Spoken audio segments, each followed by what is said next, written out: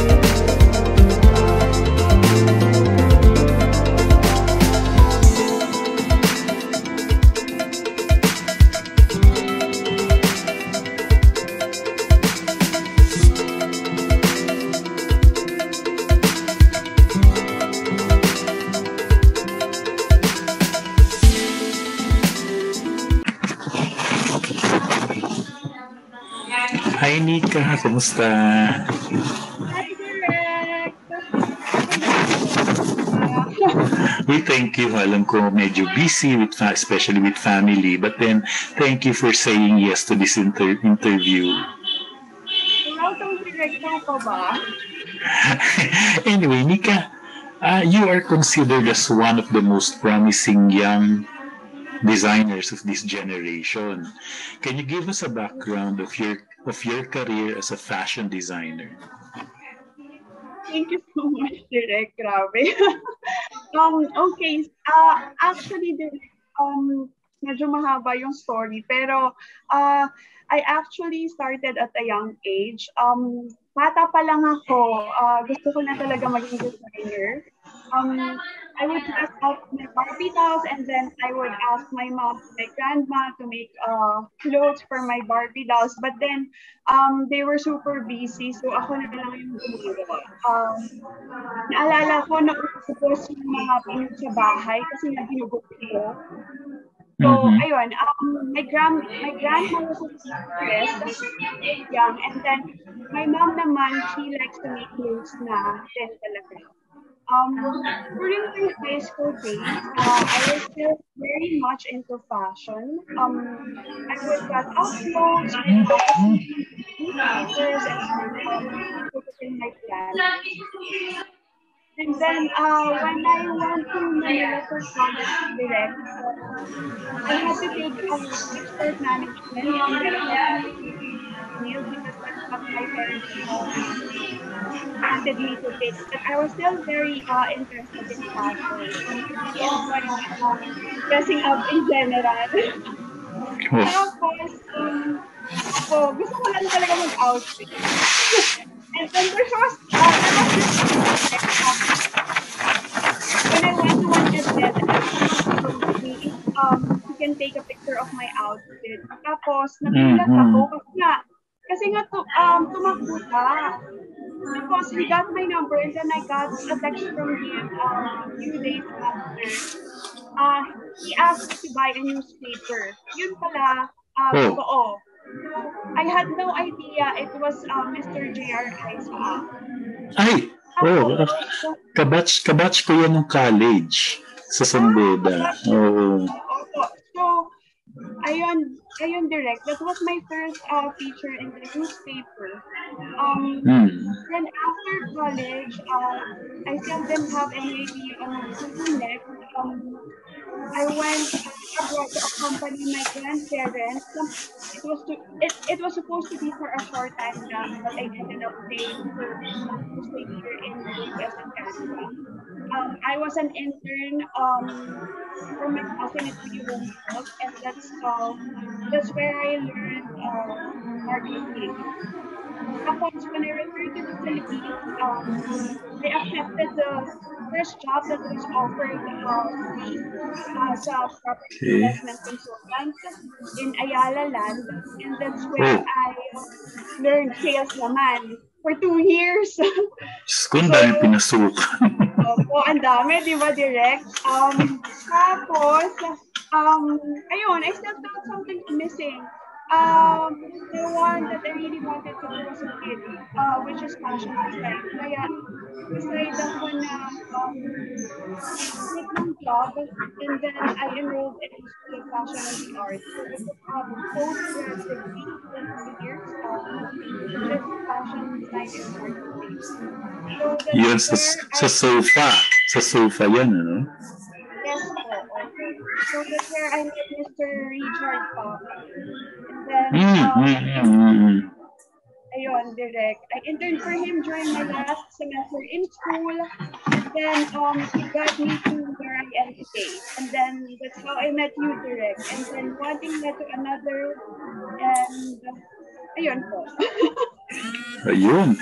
Ang dami palang pinagdaanan, Mika. Grabe. From your course to fashion, iba rin. De. Tapos ngayon, aside from being a fashion designer, you also work with Shiseido, no? How do you reconcile your work in makeup retail and creating clothes for your own line? Um, yes, po, direct. I actually work with Shiseido as a manager for. Um, Mars Thursday, uh, Shiseido will just get because I think um, fashion and hand with uh, each other because uh, beauty enhances uh, fashion and it helps us uh, express. Okay. And then, Jenica, ano, ay, ay, ay, natutuwa ako sa ginagawa mong fashion, no? Very now.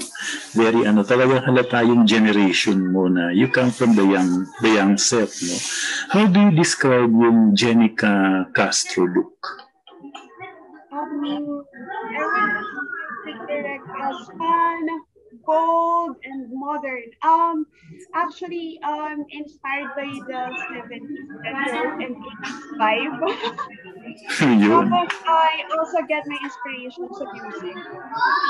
Oh, okay. Music, ha? Trabaho namin yun. So, di ba, direct? Okay. Now, you have a, a vivacious personality. Do you think it is an asset as a fashion designer? Why do you say so? Um, I think I think it's a positive thing, correct? Uh, because uh, if you are a designer, um, you deal with a lot of people, Mm-hmm. and also a lot of Okay. So, kumbaga, ina-adjust mo yung sarili mo sa industriya. O, or hindi, hindi din po eh. Ganito na po talaga ako. Hindi kasi di ba kailangan sa industry natin masayahin, uh, very positive positive attitude. So nadadala mo yun is very very obvious and I think for me ha, for me yes it is an asset, your asset kasi approachable You know, yung ganun eh, kailangan approachable ang isang designer, di ba? Yung madaling makausap, hindi snobbish, di ba? Sa panahon ngayon, ganun na ngayon, ha, di ba? And then, kanino mo naman, kanino mo, kanino mo naman ma-attribute itong love mo para sa fashion? Kanino? Sino? Is there any particular person na... I think direct uh, I got it from my mom. But I also I, I really like dressing um, hmm. My favorite part of the fashion show is uh, when I get to dress up. Oh, mm-hmm. pero, oh. di ba, direct? Uh, pero I also think um, my major inspiration came from that Johnson. Mm. Mm-hmm. Yeah, so yes, so sumisirko. sumisirko. Kasi dancer po talaga siya nag-start. Oo. Oh, oh. Ayun. Um, gusto ko na talaga siya simula nung bata pa lang ako. Kasi nga, parang pag pinapanood ko siya, ang saya si Betsy Johnson. No? Masaya lang naman, tsurang matanda na, di ba? Anyway. Matanda na, pero pag nag pag nagbihis siya, direct, di ba? Oo, oo, oo, oo. Nakita ko yung shop niya sa San Francisco. Nakita ko yung shop niya sa San Francisco. Ang ganda, nakakatuwa. One of those fancy shops in San Francisco. Yeah, pinuntahan mo, pinuntahan ko 'yun, pinuntahan ko 'yun. Tapos eh, ano, Nika, ang linya mo, young and sexy, no? Sa tingin mo ba yung mga babae ngayon should be more experimental and daring in terms of clothes they should wear? Think uh, um, dress up how they want. So there are actually no rules as long as you're happy and um, as long as you're doing yourself, then that's how you should dress up. Masabi mo nga woman of today, no? Paki-describe mo ba, ano ba dapat ang babae sa panahon ngayon? Um, and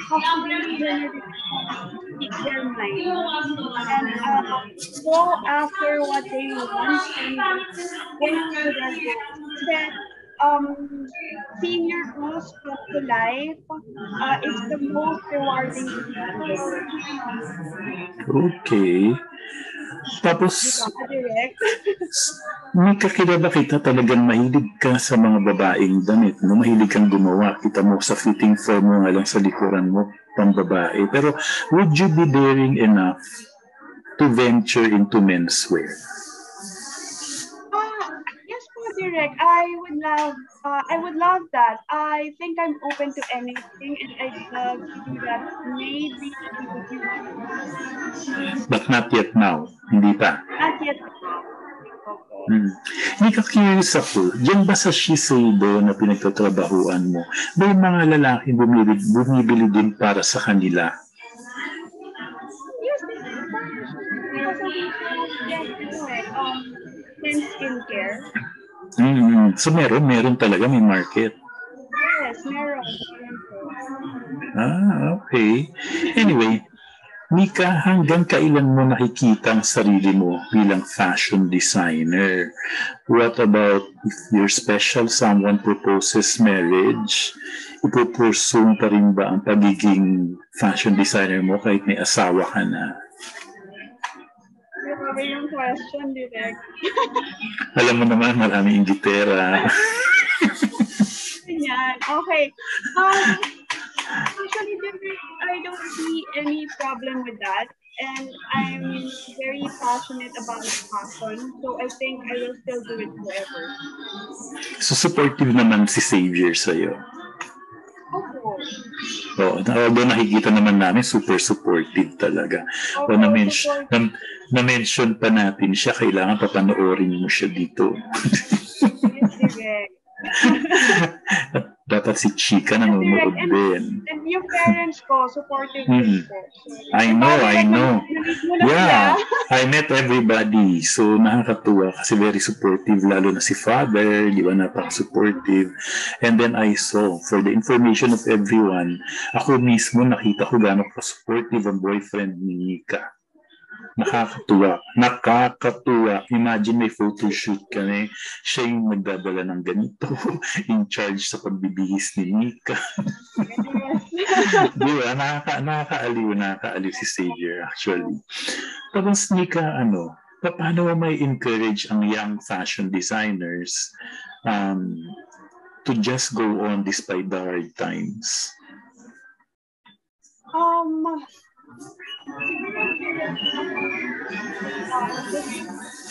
well on the. Uh, very difficult now, but uh, it will not be like this forever.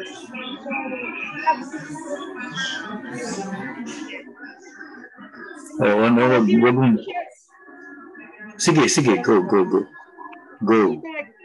Lang kasi last year, um, that's how we started Mass Cut Oo. in the middle of pandemic last year kasi um we took the opportunity to sell good masks and then um at the same Oo. time give to our frontliners and to someone in need. Kasi last Uy, year, thank you pala ha. Yeah, pinadala niyo ako, di ba? Thank you. Ay, you're welcome, Direct. Uh, ayun, last year kasi, Di- Direct, di ba, there was a shortage of masks here in the Philippines. Mm-hmm. Mm-hmm. So, um, pinig namin yung opportunity. Na tumulong, no? Opo, opo. Okay, oh, I'm sure aware naman tayo na medyo sana papawala na yung pandemya, gumaganda ng ang mga ang, ang numbers natin sa cases and recoveries. Ano ang fashion forecast mo for the years to come in terms of color, fashion style, whatsoever? Ano sa tingin mo saan pa saan pupunta ang ang fashion generally, ah, hindi lang sa Pilipinas, generally? Um, for the fashion forecast, Direct, I think um, they still um, put together but with minimal effort. So, Mhm. uh, chromatic dressing will still be in, um, but with a twist of uh, vibrant color in terms of uh, shoes, bags, and accessories. So, Accessories. for the color- Yes. For the color naman, uh, it will be um, warm neutral and earthy tones. Okay. Yung, yung huling, yung huling sinalihan mo na virtual, napansin ko talaga, the fashion is very now. Uh, for everybody's information, Nika was part of, uh, Jenica was part of the RTW virtual show. You can refer to the video in my YouTube channel and you can see her fashion, no? Yung Flores de Mayo, medyo ano yun eh. Flores de Mayo, di ba? Ah, yun naman talaga, may fashion naman for that. But when when when you showed your own fashion in the RTW virtual show, makikita nyo kung ano ang fashion ni Nika. I call her Nika. It's her nickname, Jenica, Nika. So, uh, I, do you do you research? Nagre-research ka ba? Tumitingin ka ba? Paano mo? Kasi nga, nagulat ako dun sa nilabas mo. Ah, parang nakikita ko siya ngayon merong kasi kumbaga nauna ka, 'di ba? Nauna ka doon, no? I'm not I'm not exaggerating things, no? But I saw for myself yung ginawa ni Nika na damit. Pinalabas namin nung ano ba yung July? Ano ba yung July, no? Yung RTW? July ba yun or August? O August, August kasi July pa yung menswear. And then when I saw some shows on YouTube, at saka sa, may mga nakikita akong mga videos, ganon ganun lumalabas yung medyo sexy, daring. Um, paano? Nag-research ka ba? Or, or do you do research? Yes, yes, Direk. I think very important talaga to do research then before you make a collection. So, Mm-hmm. uh, research and then yung mood board. Mm-hmm, Yan, natutunan mo yan sa sofa eh, no? At least they taught you well, no? Oo, so any... Hmm, sige, tuloy, tuloy. I'm I'm super grateful for uh, all the people that helped me along the way. And so, ayun, especially uh, kayo po, direct, um, uh, my, and all my other mentors. So, ayun, and um, designers din, and especially my family.